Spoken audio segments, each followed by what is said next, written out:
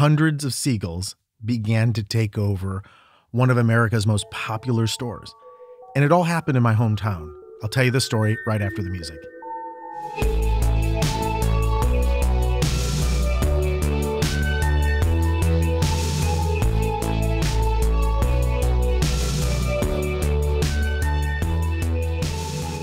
You're listening to 7 Minute Stories with Aaron Calafato.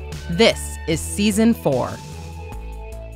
Before the Seagulls took over, this location in my hometown of Medina, Ohio, served as the first ever super Kmart in America. First one, not just Kmart, because we had one of those for years across the way. It was just Kmart department store. But they chose Medina, Ohio as the location to open the first ever super Kmart.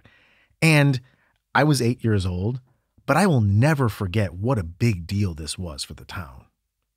The news coverage, the local politicians, hundreds of people, the grand opening, cutting the ribbon. This was a real boon for the economy. This was the beginning of the 90s. This was sort of that ascension into prosperity. And the convenience factor of this place was crazy. Just imagine combining a giant eagle and smashing it together with the Kohl's. And while that might not seem exciting now, at the time, huge deal. I mean, you could spend hours at this place. I know I did. As a kid, I swear a quarter of my memories took place at this Super Kmart. I'm thinking right now about being a little kid, just standing in the shopping cart. My mom's eyes are wide open because she's thinking, I can get all my errands done here. And all I can think about is like, get me out of this clothing section. And she's just trying to get me jeans for the start of school. And she's asking me, we can get you one or two pairs of jeans. Which ones do you want? I was like, I want the MC Hammer ones, mom, the one with the elastic at the bottom. She's like, those are way too expensive. I can get you the same jeans and we could just roll up the bottoms. I'm like, but mom, people will notice. She's like, they won't notice anything. And I'm thinking, okay, if I could just endure this clothes section, then right around the corner are the toys. And she would say, We'll go to the toy section. We'll just get these jeans. And I got to make one more stop. And I'm thinking, Oh no, that means we got to go to the deli section. It's all the way across the store. And we go there, and my mom's standing in line. She's got the ticket because she just needed a half pound of bologna on sale for lunch for the week. Now, my favorite times at the Super Kmart were during my teenage years, those years leading up to graduation with all my friends. In Medina, in a small town, there's not a lot to do after 10 p.m. So, unless you want to hang out at someone's house, you only have a few options. And our go to was after 10, let's go crush some T Bell. I mean, not just get a bite to eat, like crush tons of food for cheap. But there was a price to be paid because you would have to wait in this drive through because every kid in the city is there. It's a party. The inside is full, the restaurant, people sitting down. The drive through lines seemed like it went for miles, but it didn't matter because you're just sitting in this little compact car with six of your friends and fighting over who's going to play whose CD and whose turn it is. It was awesome.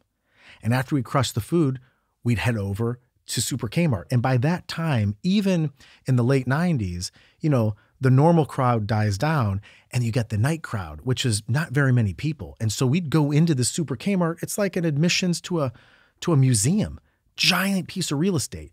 We're walking through all the different aisles.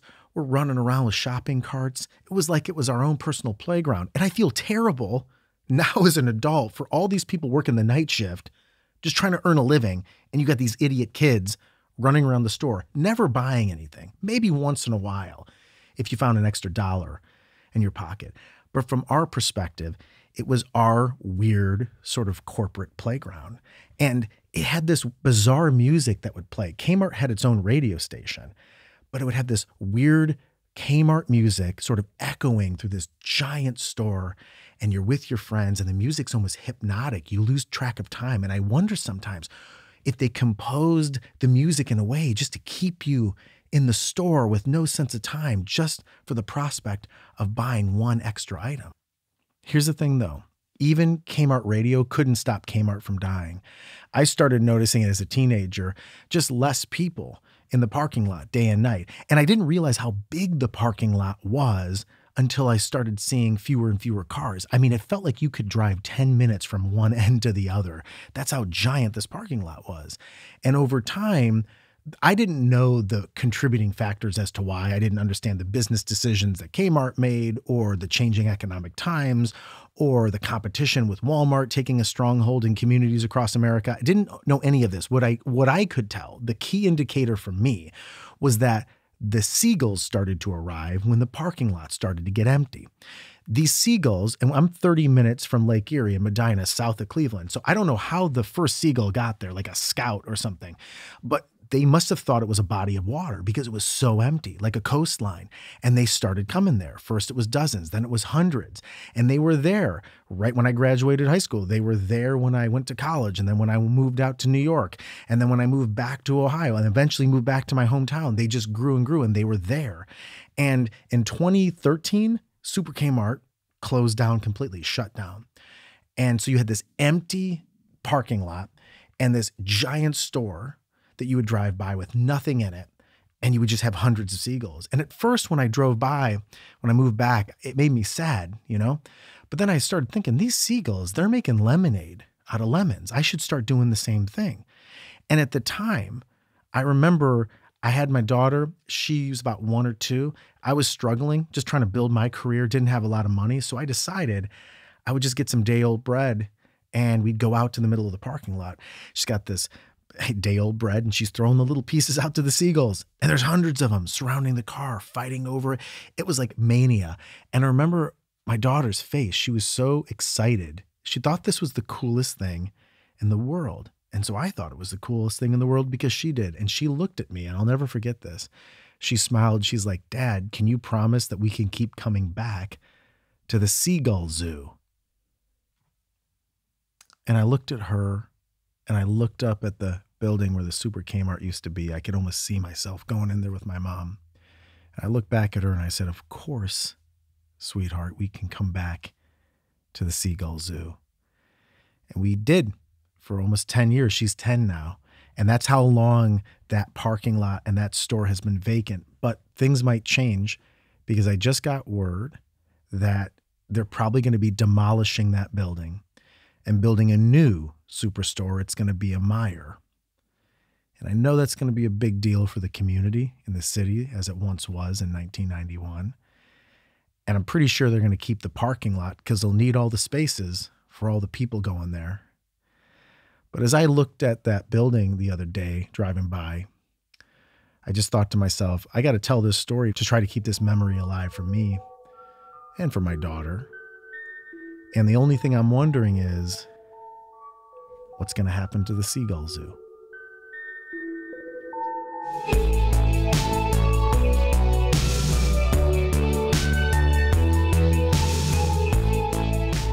Seven Minute Stories is created and performed by Aaron Calafato. Our senior audio engineer is Ken Wendt. Our resident artist is Pete Whitehead. Original music by TJ Duke. If you or your company needs help starting a podcast, Aaron and Ken's company, Valley View, does just that. Reach out to them at valleyview.fm. Special thanks to our partners at Evergreen Podcasts, and I'm Cori Birce. Make sure to tune in next week for another story.